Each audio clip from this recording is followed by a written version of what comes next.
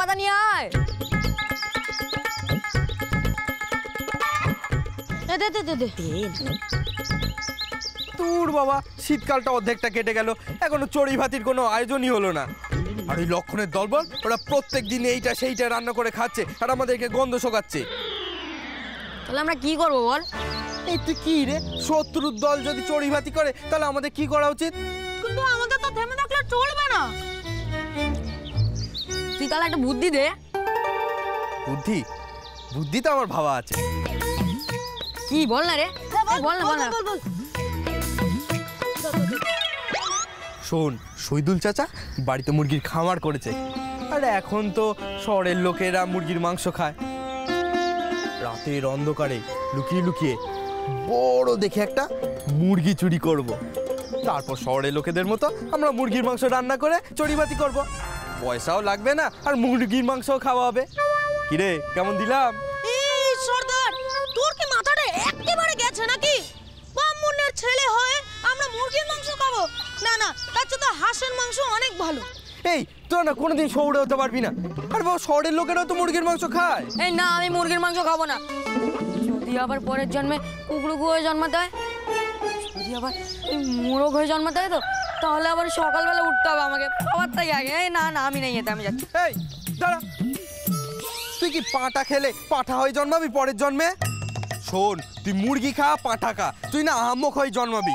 তার চেয়ে ভালো মুরগির মাংসটা খেয়ে নে। আর আমার বইতে? সে তো আমারও আছে। আর বাবা পইতে খুলে খাব তাতে তো আর দোষ নেই। এই না না না না না। না।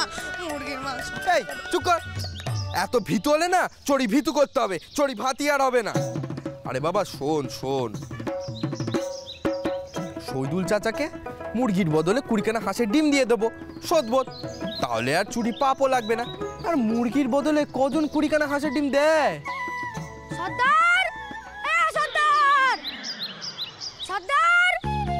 তুই এখানে কি করছিস? কেন কি হয়েছে? তোর বউ বৌদি দাদা ভাই সবাই খাতা বগলে করে বগলামুখীর মন্দিরের দিকে গেছে। তা তোকে নিয়ে গেল না?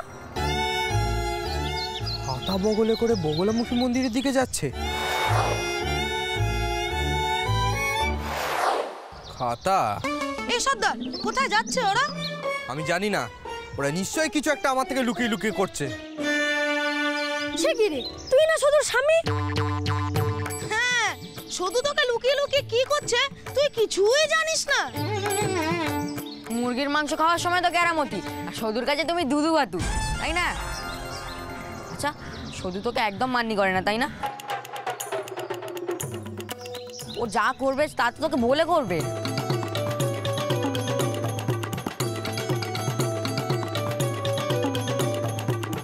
ঠিকই তো। আমি কিনা সদুর স্বামী? সদুর গুরুজন? আর আমাকেই হেলা ছেদ্দা চল দেখে আসি। এবার দেখবি শঙ্কর সর্দারের কেরামতি। চল চল।